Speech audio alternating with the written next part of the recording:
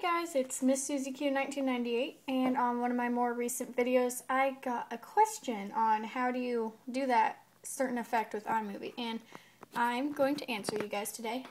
What a lot of people do not know is that iMovie has a lot of hidden effects that you don't know about.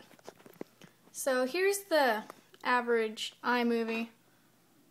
Okay, and uh, sometimes you'll watch the movies and people demonstrate how to do these things, like where you drag the clip here to the very edge, and something will pop up that says green screen and blue screen stuff.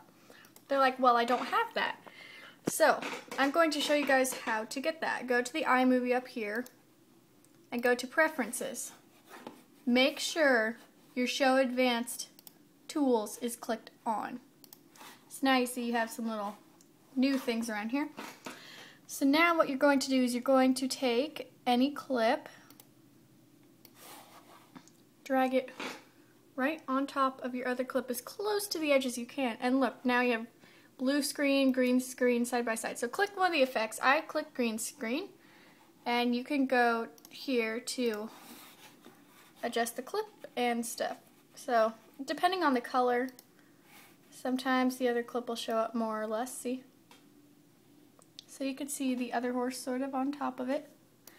And, uh, yeah. And also, when you turn your advanced tools on, you have, uh, under video, you have these little new things available, which makes it really more brighter color than just this, you know? So that's just so I can show you guys. Now, another one you could do and just play around with this. This is really easy stuff. Drag it as close to the edge as you can. And a really cool one is cutaway. So, you have to adjust the clips though for it to work. So go to clip adjustments and do opacity down here.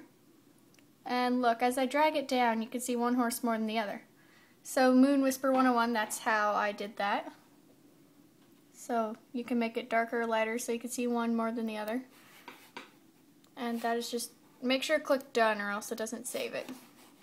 So when you play your clip, I'll just play it for you guys. Um, that's what it will look like. So, thanks for watching. Please comment, rate, and subscribe, and like this movie if it helped you. That's all.